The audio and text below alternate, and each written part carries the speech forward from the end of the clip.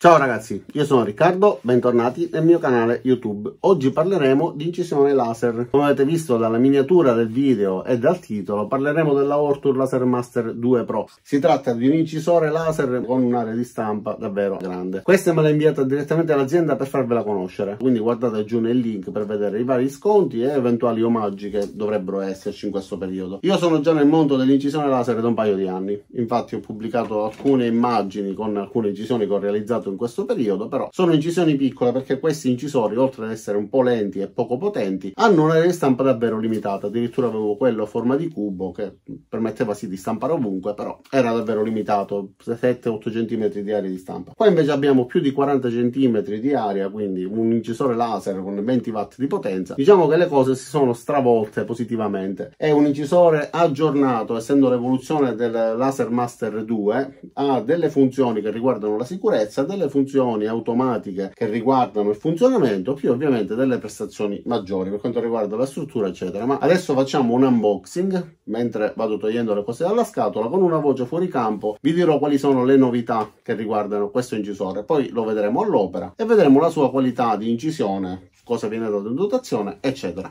Iniziamo.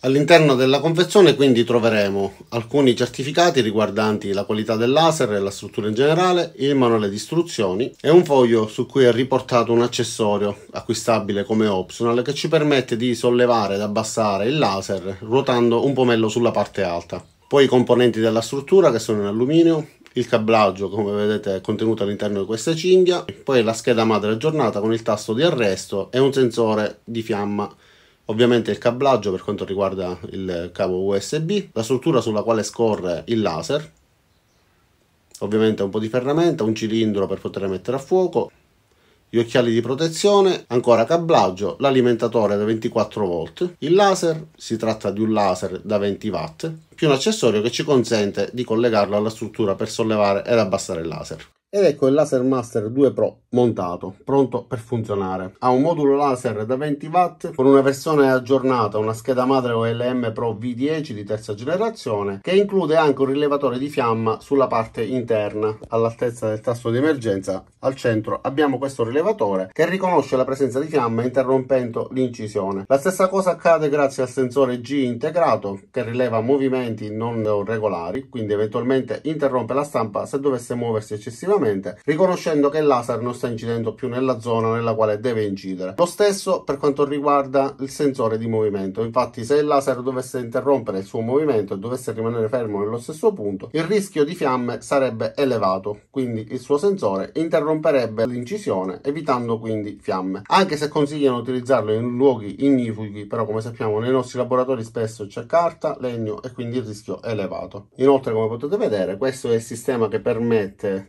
il sollevamento e l'abbassamento del laser semplicemente agendo su questa rotella. In questo modo posso regolare in modo micrometrico la regolazione del laser e agire sulla messa a fuoco che va fatta grazie a questo sistema con questo cilindro infatti in dotazione viene dato pure questo supporto stampato in 3D e ci permette di posizionare il cilindro sulla parte bassa ed abbassando finché tocca otterremo la distanza esatta per poter mettere a fuoco il laser. Quindi in questo modo potremo incidere avendo la distanza corretta con il laser che abbia la dimensione minima proiettata sulla superficie. Questo schermo protettivo riduce in parte anche la proiezione del laser e l'effetto dannoso ma vi ricordo di utilizzare sempre occhiali protettivi adeguati a norma. Il cablaggio è tutto all'interno di questa guida e ci permette di avere tutto ordinato. L'unico cavo è questo che comunque non va a intralciare sul lavoro. È possibile incidere su pezzi che abbiano una dimensione di 46 x 50 cm. Ovviamente l'area di stampa è inferiore perché c'è lo spazio occupato dallo stesso modulo laser che non ci permette di raggiungere l'estremità sia per quanto riguarda la larghezza perché quando riguarda la profondità. Comunque stiamo parlando di una superficie di stampa davvero molto ampia. Mettiamolo alla prova, facciamo alcune prove di incisione. Allora, intanto voglio farvi vedere che questi sono gli occhiali che vengono dati in dotazione. Sicuramente sono meglio meglio di niente. Vi consiglio di utilizzare degli occhiali di buona qualità. Questi li ho comprati su internet e hanno pure la marchiatura CE, sono degli occhiali specifici per essere utilizzati con gli incisori laser e riducono davvero tantissimo il danno che potrebbe fare un laser. Infatti io lo osserverò attraverso il display del telefonino. Quindi mi raccomando, proteggetevi bene, non mettete mai le mani sotto e neanche cose infiammabili nei paraggi. Allora, per poterlo accendere bisogna collegare l'alimentatore alla presa elettrica e va collegata da questa parte l'ingresso dell'alimentazione. Sul manuale di istruzione è riportato che è del tutto normale la formazione di scintille, però per ovviare a questo problema basta inserire prima lo spinotto sull'incisore, dopodiché collegare la corrente elettrica, poi va collegata la presa USB al computer e da lì tramite un programma che però oggi non approfondiremo perché voglio concentrarmi più che altro sulla qualità dell'incisore, poi faremo magari un video pure sul programma che ci permette di eseguire le incisioni acquisendo le immagini eccetera. Quindi adesso l'accendo, va premuto prima per alcuni secondi il tasto reset che è il tasto in alto e dopodiché il tasto power, sempre per qualche secondo. Ok, adesso è possibile utilizzarla, quindi basta semplicemente spostare gli assi in modo da raggiungere il punto in cui abbiamo il pezzo da incidere, ad esempio questo pezzo di MDF, si mette sulla base. Dopo di ciò, tramite questo cilindro, possiamo regolare la messa a fuoco. Basta sollevare posizionare il cilindro sotto in modo da dare la stessa altezza del cilindro alla base del laser. Perfetto. In questo modo va perfettamente. Quindi adesso accendendolo sarà a fuoco. Ok, il rumore che avete sentito è perché ho connesso il software all'incisore. A questo punto posso acquisire un'immagine, che sia una foto, una scritta, eccetera, e iniziare ad incidere. Questo laser ci permette, come la maggior parte dei laser, di incidere stabilendo la potenza del raggio e la velocità di spostamento perché un, un, raggio laser emesso ad una potenza elevata con una velocità elevata ci permette di avere un risultato paragonabile ad un laser che emette una potenza bassa ma con dei movimenti lenti. Ovviamente poi dipende anche dalla superficie sulla quale dobbiamo incidere perché ci sono superfici sulle quali se si sta molto tempo anche se il laser ha una potenza ridotta possono formarsi aloni di bruciatura eccetera. Quindi vanno fatte delle regolazioni che poi col tempo si acquisiscono che ci permettono di avere dei risultati risultati eccellenti, dei risultati che diano al laser il tempo necessario di stare in un determinato punto senza scavare troppo e neanche rischiando di avere un'incisione troppo leggera. Quindi ora facciamo una prova incidendo un'immagine e vediamo il risultato appunto su questo pezzo di MDF. Adesso ho aperto un'immagine tramite il programma Laser GBRL, è una fotografia che ho scattato io tempo fa alla Valle dei Templi di Agrigento. Tramite il programma dobbiamo dare la misura non del piano di stampa, ma la misura del pezzo che vogliamo stampare. Decideremo noi la posizione nella quale deve trovarsi il laser, quindi verrà proiettato sulla base il perimetro della figura che dobbiamo stampare in forma geometrica, quindi quadrato o rettangolare. E questo ci consentirà di posizionare il pezzo sul quale dobbiamo incidere in modo corretto. Quindi do l'avvio. Vi ricordo di utilizzare gli occhiali protettivi. Ok, quindi abbiamo la profondità massima e lateralmente abbiamo questa posizione quindi posso ancora gestirlo.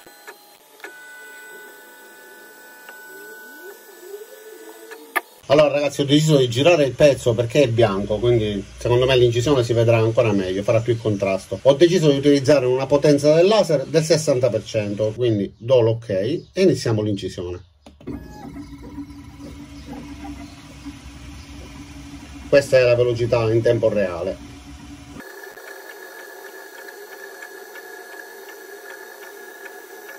È possibile anche stabilire la qualità dell'immagine, oltre che l'intensità della potenza del laser, perché eh, ci dà la possibilità di decidere quanti passaggi deve fare il laser, quante linee devono essere incise per ogni millimetro. Ovviamente più linee decidiamo di fare incidere per ogni millimetro, maggiore sarà la qualità dell'immagine incisa. Il laser è dotato di una ventola che oltre a raffreddare la stessa laser allontana i fumi, ma impedisce pure la formazione di eventuali fiamme.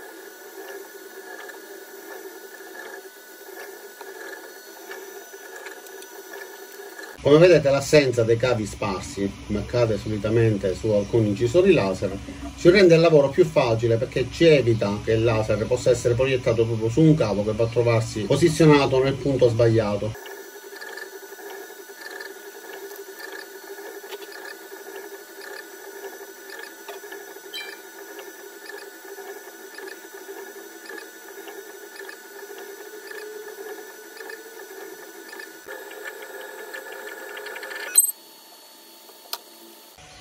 Ok questo quindi è il pezzo che abbiamo inciso. Come potete vedere l'immagine è stata incisa perfettamente. Però è un'immagine in bassa risoluzione perché l'ho salvata da facebook ma per farvi capire comunque la qualità si vede abbastanza bene.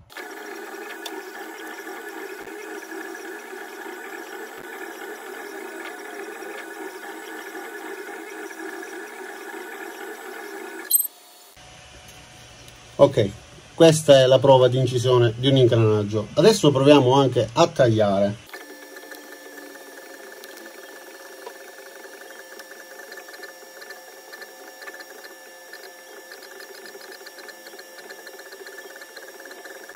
Ho impostato una potenza del 100% e una velocità di spostamento di 350 mm per minuto. Ok quindi incisione completata come vedete è andata ad incidere anche sul pezzo martire quindi in realtà sarebbe stato possibile fare anche qualche passata in meno. Questo è l'ingranaggio che sono riuscito ad ottenere e ha impiegato circa 12 minuti per fare però 5 passate forse una e meno sarebbe riuscito a eseguirlo lo stesso. Adesso proverò a incidere su questo pezzettino di plastica plexiglass nero che viene dato in dotazione. Inciderò il mio logo. Abbiamo solamente 23 mm come superficie di stampa. Ho impostato una potenza del 50% ed una velocità di 350 mm dovrebbe essere abbastanza veloce vediamo che risultato riusciamo ad ottenere su questa plastica vediamo se riesce ad inciderla correttamente.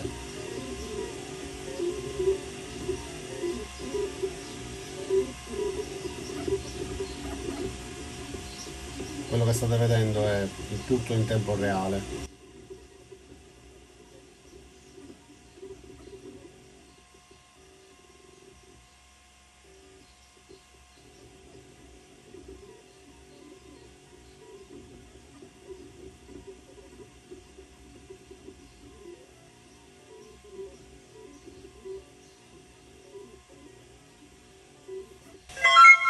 ok ho impiegato davvero pochissimi secondi e il logo è venuto meravigliosamente bene ragazzi. Una messa a fuoco eccezionale grazie al, al cilindretto. Guardate che risultato che ho ottenuto in 23 mm stupendo.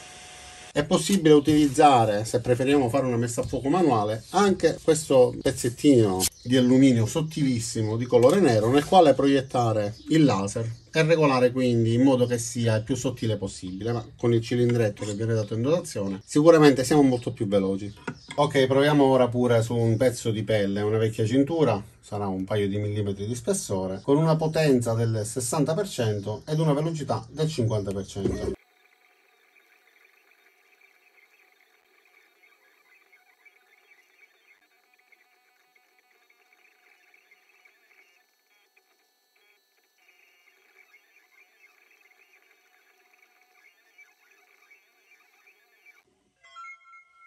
ok è impiegato davvero pochissimo tempo. E guardate che risultato ragazzi. Praticamente un risultato che oserei definire quasi professionale. Davvero riuscito perfettamente. Un'incisione che a me piace tantissimo anche nei dettagli più piccoli veramente veramente fatta bene. Adesso avvierò un'incisione solamente per farvi vedere come si blocca tramite fungo di emergenza.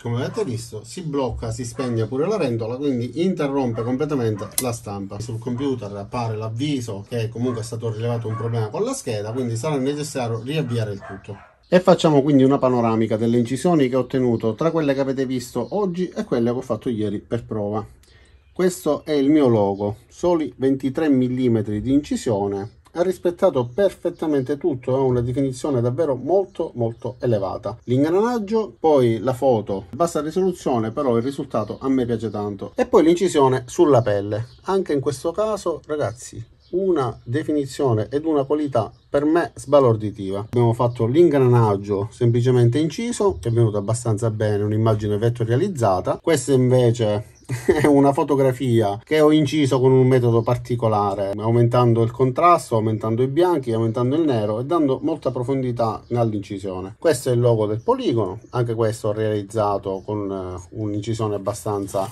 aggressiva sulla parte opposta invece un'incisione sempre del logo molto più leggera dove si vede l'incisione linea per linea.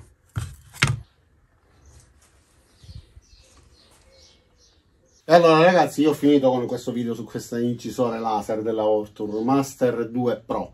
Come abbiamo visto è un incisore abbastanza completo con fungo di emergenza, rilevatore di incendio ma soprattutto con una struttura di buona qualità che ci permette di ottenere delle incisioni che io sinceramente non mi aspettavo. Guardate per esempio questa foto che per me è venuta bene, considerando che è presa da una foto a bassa risoluzione e nella quale ho giocato con contrasti, livello di bianco, eccetera. A proposito di livello di bianco, sono riuscito a ottenere, facendo delle prove di incisione, aumentando il bianco, aumentando anche il nero, aumentando la potenza dell'incisione, questa sorta di incisione a rilievo, in cui si vede la sagoma mia e di mio figlio a rilievo, si può toccare, sporgerà un paio di millimetri, e questo gradino tutto attorno, perché ha bruciato il legno, poi l'ho rimosso rimosso con una spazzola, il legno non bruciato era la parte bianca, quindi tutto ciò che era nero è venuto inciso in profondità e il resto invece è rimasto così a rilievo e mi piace come risultato. E questo è il poligono nobile dove avete visto ogni tanto fare qualche video. Cosa dire ragazzi? Io vi lascerò tutti i link giù con tutte le informazioni per poterlo acquistare, poter vedere le caratteristiche tecniche, eccetera. Non mi resta che ringraziarvi di aver visto questo video fino in fondo, vi invito ad iscrivervi al mio canale, mettere mi piace al video se vi è piaciuto lo avete ritenuto utile, iscrivetevi ma cliccate anche sulla campanella là giù per attivare le notifiche e ci vediamo ai miei prossimi caricamenti. Ciao da Riccardo e a presto!